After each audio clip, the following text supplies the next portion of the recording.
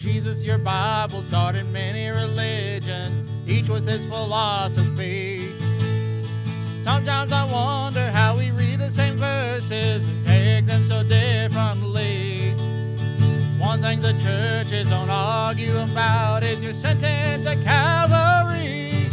So if being a Christian was breaking the law, tell me what would my sentence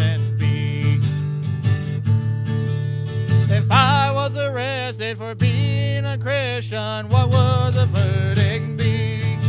Would they find the evidence to throw the book at me? Would the prosecutor tear me apart?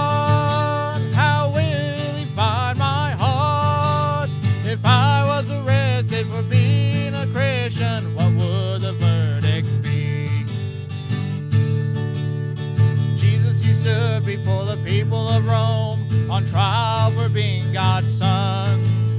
You hung there till you said it is finished. You never said it is done. The Bible says you'll come back again to judge us accordingly. So each time I wonder where I really stand, this thought always comes to me. If I arrested for being a Christian, what would the verdict be? Would they find the evidence to throw the book at me? Would the prosecutor tear me apart? How will he find my heart?